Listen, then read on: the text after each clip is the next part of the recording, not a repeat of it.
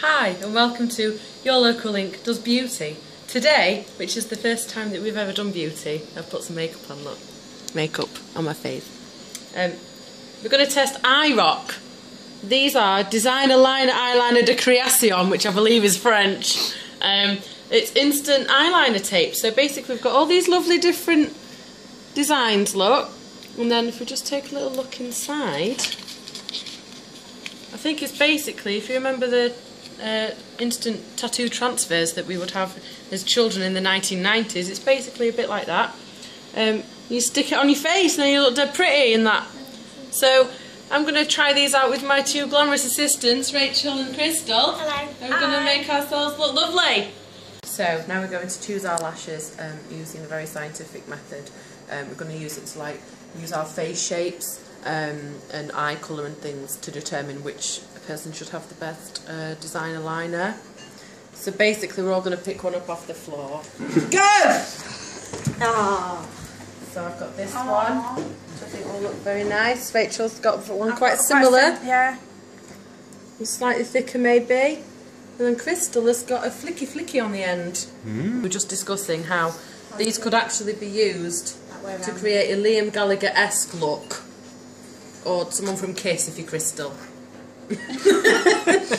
so, you get your, if you forget which one's which, the one with the straight, that straight bit goes nearest to your eye, I think. So, we need to peel it. This might take some time. Yeah. Come back in a bit. So you peel it. Oh. Apparently supposed to try not to hold the actual bit that's going to stick to your eye too much. So use some tweezers. And then attempt to put it onto your eye. I've forgotten which way around it goes already. this is going to be interesting. This will be your left eye. oh, no, your right eye. Remember, you've got to trim them to fit in the inside of your eye. Yeah. Hello. E- Explain how we just fixed it. Uh, basically, it turns out I hadn't looked at it properly. Who did? Howard looked at it properly. A man. Shut up. He's just really good at beauty. But basically, well, where's it? There they are.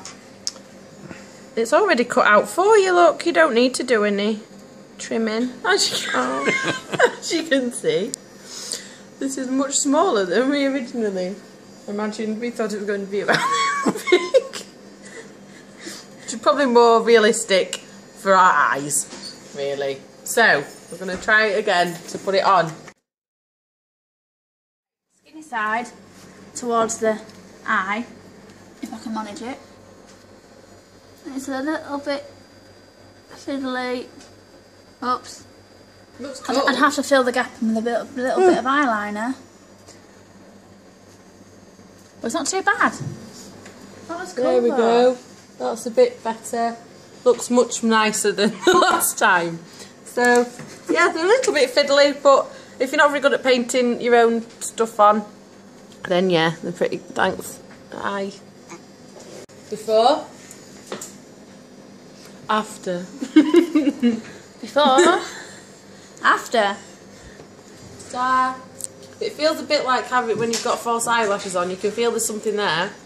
But, But- we were quite impressed with the shape. there? Yeah. It can make a really nice shape that would. You need a really steady hand. Yeah, to be able to do it. If, so if you're not very good at drawing eyeliner on, then these are dead good. And they've got different um, things. Yeah, that's quite cool. Oh, you look good. Thanks, Krystal. Krystal's reaction. Yeah. Good.